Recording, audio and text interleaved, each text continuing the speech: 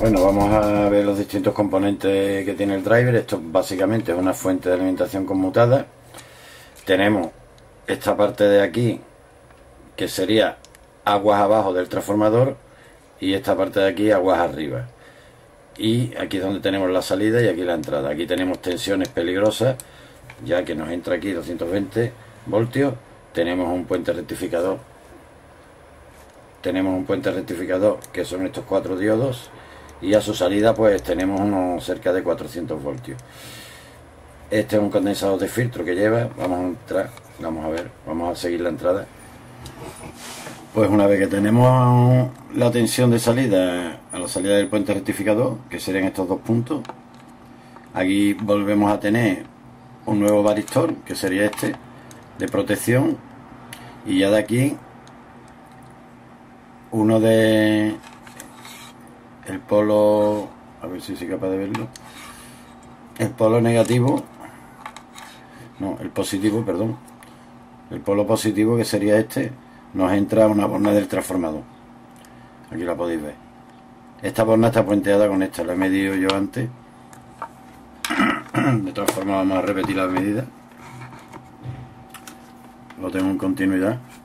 Esta borna es esta misma porque estaba pensando que tenía dos, dos bobinas transformador, pero no, solo tiene una, ¿veis?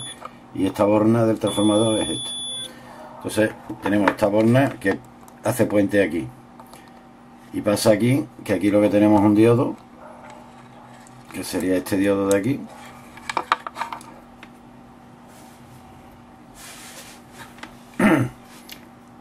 Y la salida de ese diodo ya es la que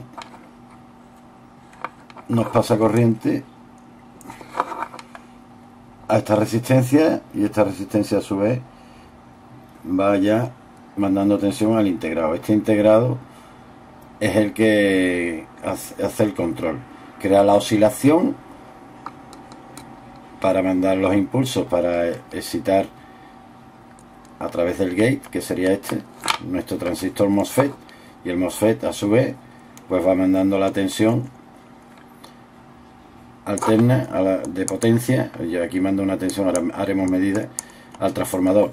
Como veis aquí se puede ver físicamente la separación entre lo que es aguas abajo del transformador, que son tensiones altas, bueno, esta zona de aquí no tiene tensiones altas, pero bueno, y aguas arriba, que ya sería la parte de la salida de nuestro transformador, que la salida pues son estas bornas de aquí. Tenemos aquí.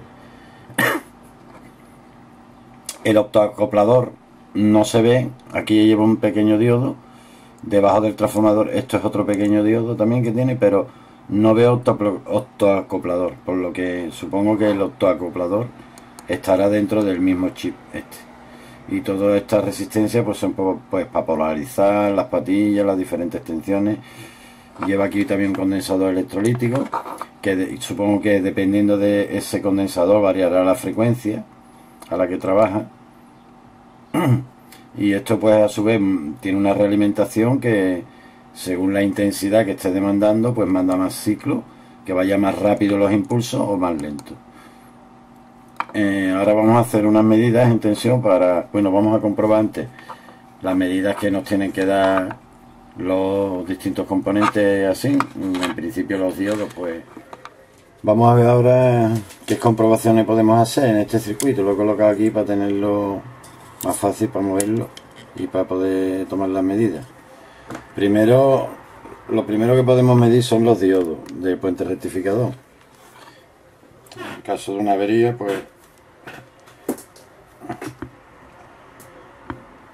hombre lo primero siempre es una inspección visual. Si visualmente vemos que uno de los varistores está rajado por la mitad reventado y es que había una subida de tensión o algo y seguramente se ha destruido y ha hecho un corto.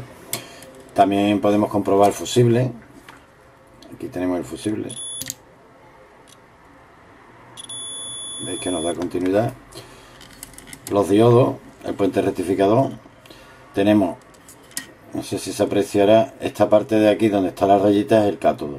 El cátodo es el negativo, entonces si ponemos la punta negativa en el cátodo y la positiva en el ánodo ahí, ahí he cogido veis 579 estos son voltios pues estoy midiendo la escala de diodo. Este está en inversa pues tenemos el cátodo donde he puesto la punta roja. Este nos dará un circuito abierto. Este esta es la misma postura que este. El cátodo aquí. El anodo aquí. Lo tapo con la mano no veis nada momento a ver cómo lo pongo las manos que es complicado. Este por ejemplo está en directa y eso lo comprobaríamos. Podemos comprobar también si le damos la vuelta los varistores si están en corto se mide directamente. No están en corto, estuvieran en corto pues me pitaría el otro varistor que está aquí pues igual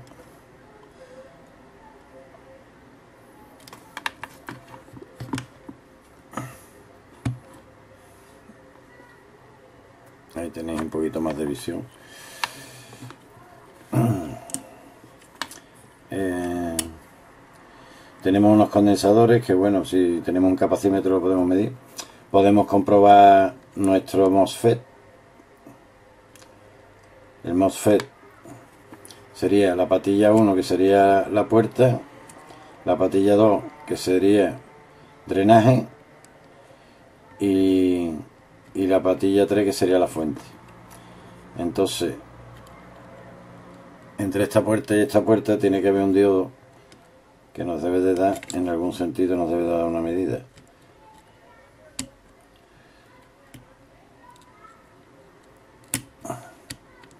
No sé si que esto lleva un barniz que no hay manera de de que haga contacto con el barniz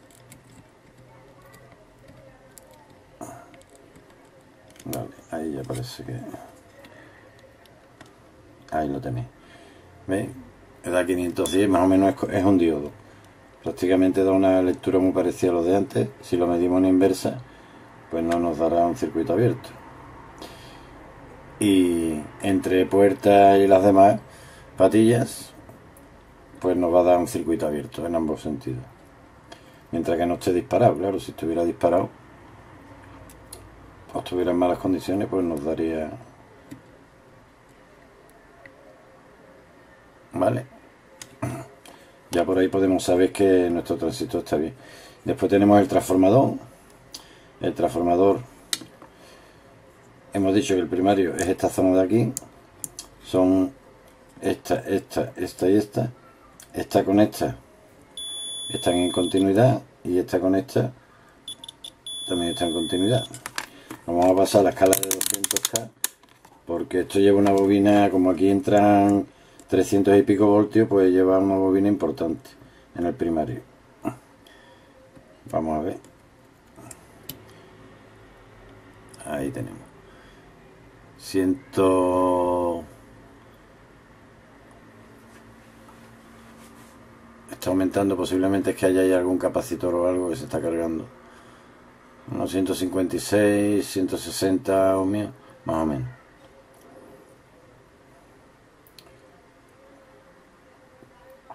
Ahí se quedan 160 aproximadamente. Después el secundario, que son estas dos entre este y este pues nos dará una resistencia muy pequeñita vamos a cambiarlo a la escala de 200 ahí está 1 con 2, 1 con 1 una resistencia pequeñita puesto que esta este bobina pues mucho más pequeño porque aquí la salida serán unos 50 voltios aproximadamente. Después tenemos el diodo este de salida es un shock un diodo rápido ultra rápido. Y ya es un diodo como podéis ver bastante gordote porque bueno este, este drive es capaz de suministrar hasta 7 amperios ahora lo tengo puesto en directa. Nos debería de dar algo. Pero no me está dando nada. No sé si por el barniz. Ahí, ahí he cogido la medida. Este dará una medida más, más grande. Ah no, más pequeña. 429 y en inversa pues no nos debe de dar nada. Salvo cuando se carga el condensador este el momento de cargarse pues sí nos dará una y después se quitará Este, cuando se carga el condensador.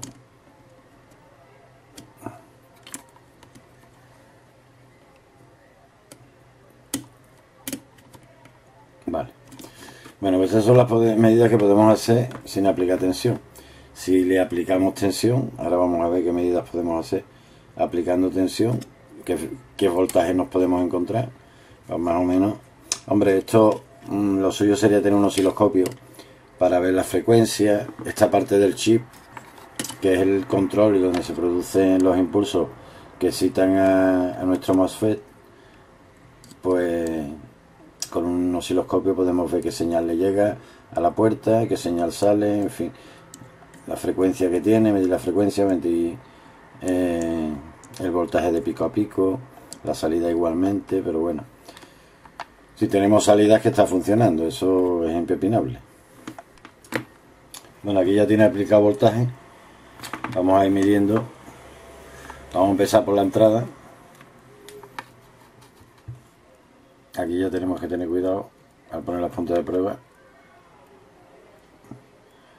Aquí deberíamos tener 220 voltios, pero vaya con el barniz.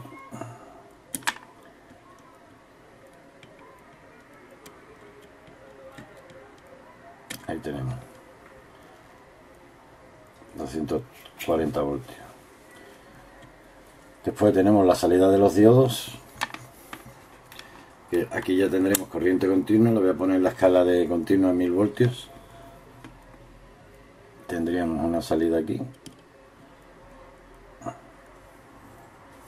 Vale.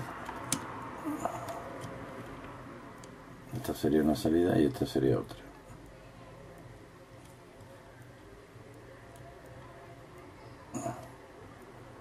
que no estoy haciendo contacto. Ahí tenemos. 325 voltios. Y ahora ya esta tensión pues se aplica a nuestro integrado que es el oscilador controlador y los impulsos vienen aquí a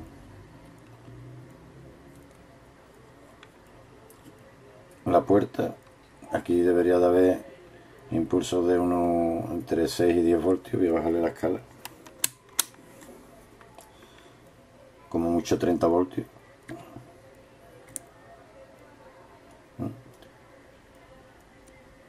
Bueno son 0 esta es la escala de Sí, no, no me da una medida quizá correcta porque bueno, esto lleva una frecuencia importante. A ver, pero bueno, ahí tenéis. Esa sería la señal que cita y la salida vamos a subirle. La salida la tenemos aquí. Que son los 300 y pico de voltios bueno tampoco tenemos mucha señal porque no tenemos ninguna carga conectada eso es otra que a medida que, la carga demanda esta tensión de aquí pues puede variar.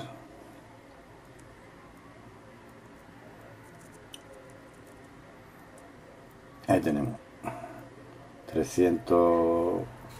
Bueno, voy a cambiar de equipo de medida. Ahora voy a utilizar mi pinza amperimétrica que esta se tiene para medir para medir hercios. Aquí.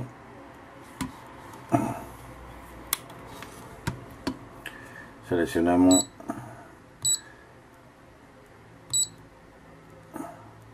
hercio. Podéis ver ahí, hercio. Entonces vamos a ver qué frecuencia, a ver si esto tiene rango para medir la frecuencia que tenemos aquí.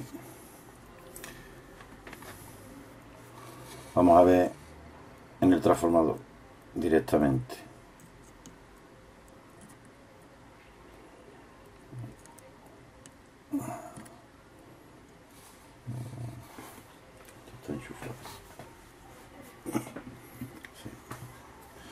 Vamos a probar primero la entrada, por ejemplo. A ver, la entrada la tenemos aquí.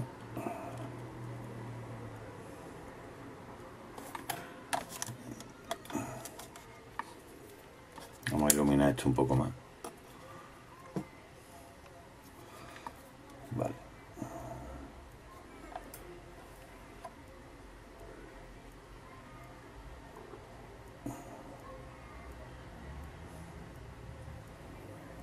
Vale, pues me dice 49,95, no sé si lo podréis ver.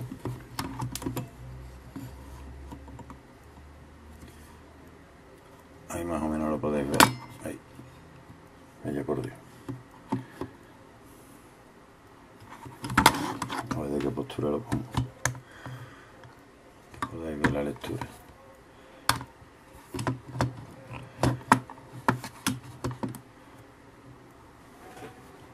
Ahí.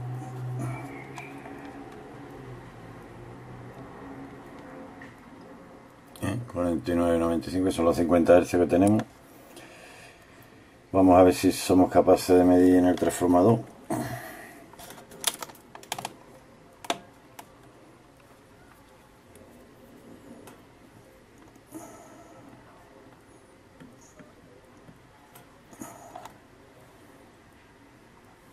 Lo que sería nuestra entrada.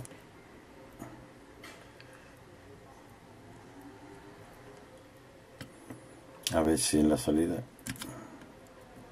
somos capaces.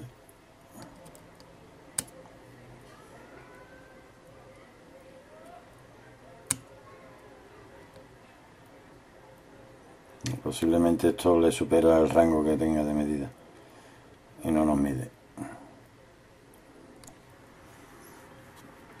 Vamos a medir voltaje a ver qué voltaje nos da con este polímetro.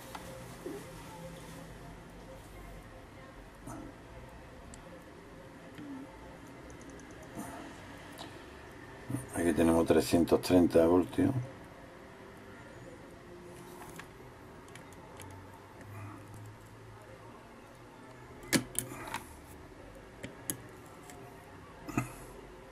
Ahí tenéis la medida, 47, 48 voltios.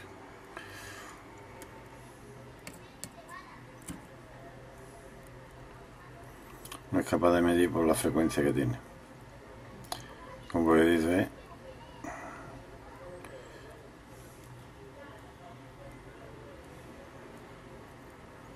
sin embargo la entrada sí me la ha medido antes.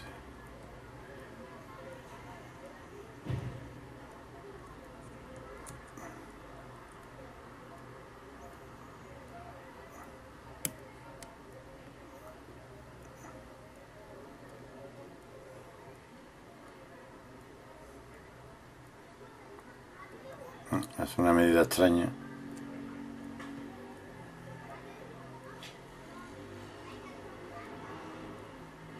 Eso es por la alta frecuencia que...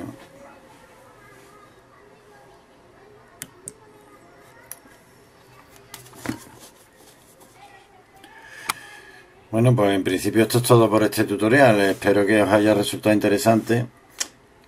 Lo suyo hubiera sido tener un, un osciloscopio para ver la forma de onda que tenemos en cada punto y, y bueno, ver un poco, pero bueno, más o menos con esa medida que, que, hemos podido realizar, pues se podría comprobar el funcionamiento, ¿no? si funciona o no funciona y más o menos localizar dónde está el problema.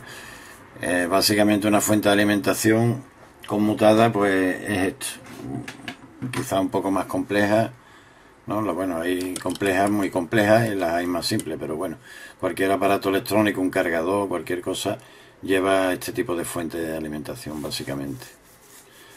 Pues nada, si os ha gustado darle un like, si no un dislike y nos vemos en un próximo tutorial. Hasta luego.